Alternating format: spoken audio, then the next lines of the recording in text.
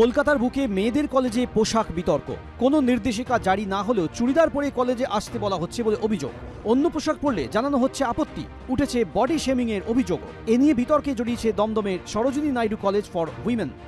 ছাত্রীদের অভিযোগ, কলেজে নিযুক্ত এক অবসরপ্রাপ্ত অশিক্ষক কর্মী পোশাকের উপরে নজরদারি চালাচ্ছেন। তার সঙ্গে যোগ দিয়েছেন অন্য অশিক্ষক কর্মীরাও। কলেজে জিন্স, ক্যাপ্রি পরে এলে আপত্তি করা হচ্ছে। ছাত্রীদের অভিযোগ, প্রিন্সিপালের নির্দেশেই এসব হচ্ছে। প্রতিবাদে বুধবার এবং বৃহস্পতিবার কলেজের গেটে বিক্ষোভ দেখান ছাত্রীরা। প্রতিবাদে এদিন কিছু ছাত্রী ক্লাস করেননি। টপ পরেছিলাম, নিচে একটা নীল এতটা। এতটা মতন একটা হোয়াইট প্যান্ট পরেছিলাম। উনি বলেছেন যে হাফ প্যান্ট পরে, এরকম হাফ প্যান্ট পরে পড়াশোনা হয় না এরকম ভাবে স্কুলে আসা যায় না। এটা প্রিন্সিপাল বারণ করেছে। ওরা উনি কন্টিনিউয়াসলি এটা বলে যাচ্ছেন আর আমাকে উপরে যেতে দিচ্ছিলেন মানে কলেজে ঢুকতে দিচ্ছিলেন না বলেছিলেন ডিরেক্টলি বাড়ি চলে যেতে।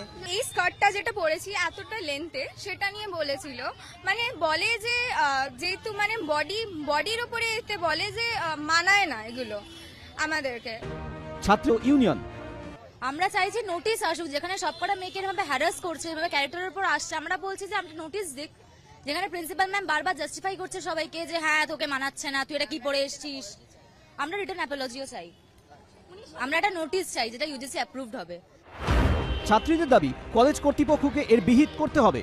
কলেজের পরিচালন সমিতি জানিয়েছে, অসুবিধা হয়ে থাকলে ছাত্রীরা তাদের সঙ্গে কথা বলুন। প্রিন্সিপালের সঙ্গে কথা বলে বিষয়টি দেখা হবে। এ নিয়ে প্রতিক্রিয়া জানতে কলেজের প্রিন্সিপাল উর্মিলা উকিলকে এ নিয়ে কিছু বলতে পারছেন না।